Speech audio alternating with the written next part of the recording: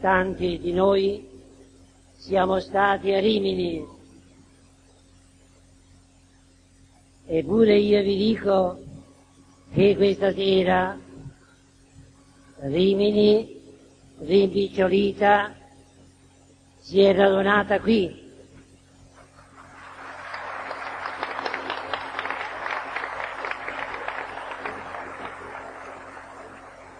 con la stessa gioia e con lo stesso fuoco. Ma io vi dico ancora che se là in 10-15 mila c'era tanto fuoco, qui il medesimo fuoco e la medesima luce vogliamo fare sprezzare in 3.000-4.000 persone.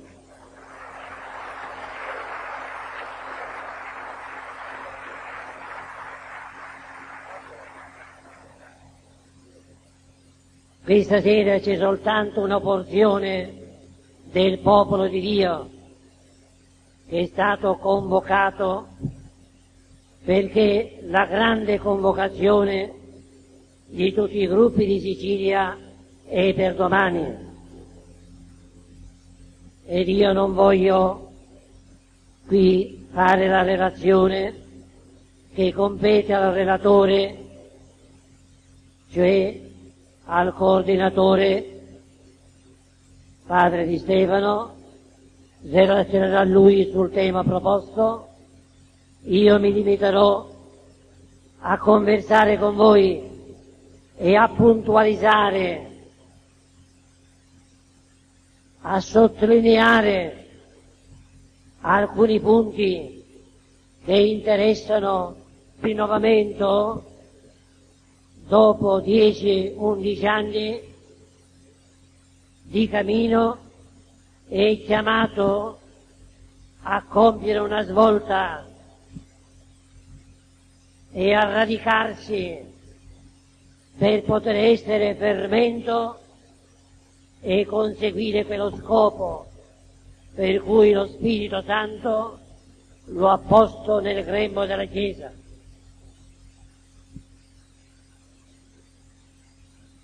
Ricordate la parabola evangelica? La donna, la buona massaia, che ha preso il lievito, un pugno di lievito, e lo ha messo in tre staia di farina, una grande massa, una grande impastata, 120 kg, con un pugno di lievito. Ma la donna sapeva che il lievito era un lievito eccellente, forte, fermentante, per cui mise con fiducia quel pugno di lievito in tre staie di farina in questa grande impastata e dice il testo, e aspettò che la massa fermentasse tutta. Questa donna che ha messo il pugno di lievito in tre staglia di farina è la sposa dello Spirito Santo. E lei che lavora la massa dei cristiani insieme con lo sposo lo spirito. Ed è lei che ha ricevuto dallo spirito quel pugno di lievito e lo ha messo nelle tre staia di farina nel popolo battezzato nel nome del Padre, del Figlio e dello Spirito. E adesso questa donna attende, attende che tutta la massa fermenti. E la Chiesa che attende la fermentazione della massa attraverso il pugno di rinnovamento che lo Spirito Santo ha messo nel suo grembo. Diceva Paolo VI, il rinnovamento è una chance per la Chiesa, è l'occasione fortunata, è il momento atteso perché tutta la Chiesa di questo fermento possa giovarsi e possa rinnovarsi. Dobbiamo essere coscienti, fratelli e sorelle, della nostra responsabilità, l'essere noi questo fermento, l'essere noi un pugno di rinnovamento nella Chiesa. Il concilio, usurpando, facendo proprio un termine biblico che troviamo in Giovanni, che troviamo in Paolo, parla di rinnovamento della Chiesa, quando ancora il rinnovamento non era nato ma il concilio è profetico. E tra le tante profezie ha parlato del rinnovamento e dei carismi che sarebbero germinati nella Chiesa insieme col rinnovamento. Ebbene il rinnovamento nella Chiesa lo ha posto lo Spirito Santo e noi non siamo tutti il rinnovamento ma siamo una forza di rinnovamento, quello che porta più impressa la forza dello Spirito, la voce dello Spirito, l'impatto dello Spirito, quel rinnovamento che con i carismi di cui è dotato deve far germinare nella Chiesa un nuovo volto e fa risplendere la Chiesa come segno di Cristo, come strumento di salvezza. Noi dobbiamo essere coscienti del ruolo che Dio ci ha affidato e guai se questa chance dovesse fallire, guai se questo fermento doveste irrangirirsi o, doveste, o doveste perdere la sua forza lievitante. Ecco perché questa sera io vorrei invitarvi ad una riflessione, ad una rilettura del cammino che abbiamo fatto e del cammino che dobbiamo fare. Il cammino che abbiamo fatto che cosa è avvenuto in dieci, dodici anni di rinnovamento nella nostra Sicilia. Abbiamo noi inciso e in quale misura noi abbiamo inciso nella vita della Chiesa, nella vita della società siciliana? Perché se non avessimo inciso nulla, potremmo fare le valigie e tornarsene a casa.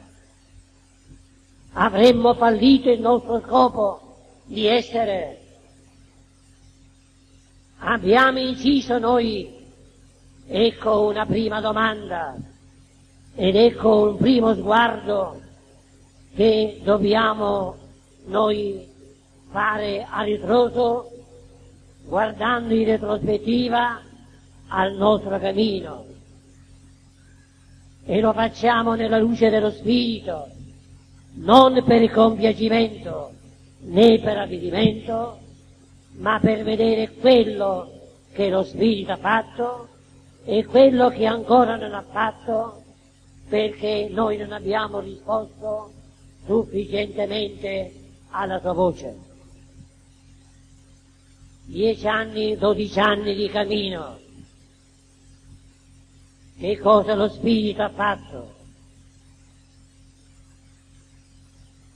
Il primo cardine su cui il rinnovamento poggia è il rinnovamento della vita di preghiera nella Chiesa, il primato della preghiera nella Chiesa. I documenti posti conciliari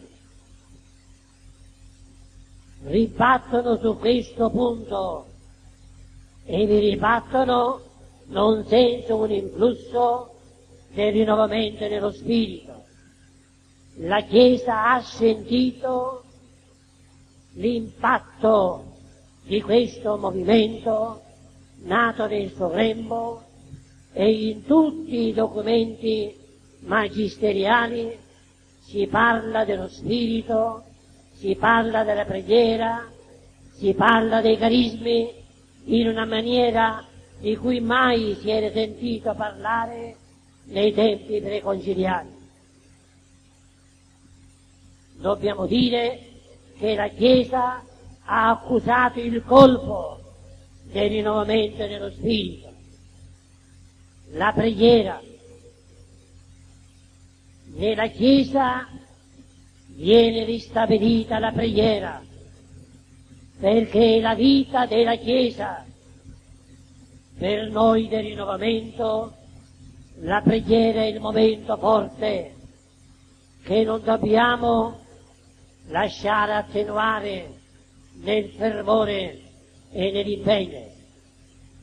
Se dovesse cadere la preghiera, se dovesse tene, cadere di tono la preghiera di lode, noi andremmo verso la rovina, perché il primo scopo che lo Spirito si è previsto, dando il rinnovamento alla Chiesa, è la restaurazione della preghiera. La preghiera è necessaria alla Chiesa più che l'azione. Se dovesse mancare la preghiera, mancherebbe la forza di combattimento alla Chiesa. Ecco perché dobbiamo insistere nella preghiera. Ebbene, guardando a ritroso, noi dobbiamo rallegrarci per l'azione dello Spirito. Nella nostra Sicilia, in dieci anni, i gruppi di preghiera sono aumentati oltre cento gruppi di preghiera. Pensate quante voci si levano al Signore ogni giorno. Qui, dalla Sicilia, da questa terra benedetta, da questa terra di Maria, dove la prima volta ha bussato lo Spirito, prima che in America, con un accenno al rinnovamento ai carismi. Fu qui a Palermo che nel 1947, venti anni prima, aveva bussato lo Spirito con un'esplosione di carismi, esplosione che fu messa a tacere, ma che lo Spirito riservò a venti anni dopo. Ebbene, qui in Sicilia, in questa terra benedetta, dove prima aveva bussato lo Spirito perché si aprissero le porte a Lui, qui in questa terra benedetta, oltre cento gruppi, sono 110, oltre cento gruppi pregano durante la settimana, migliaia e migliaia di persone, diecimila persone che pregano. Ogni giorno ci sono migliaia e migliaia di voci che si innalzano al cielo, una forza potente nella Chiesa, una tenda che si espande a proteggere la cristianità, una forza meravigliosa che combatte lo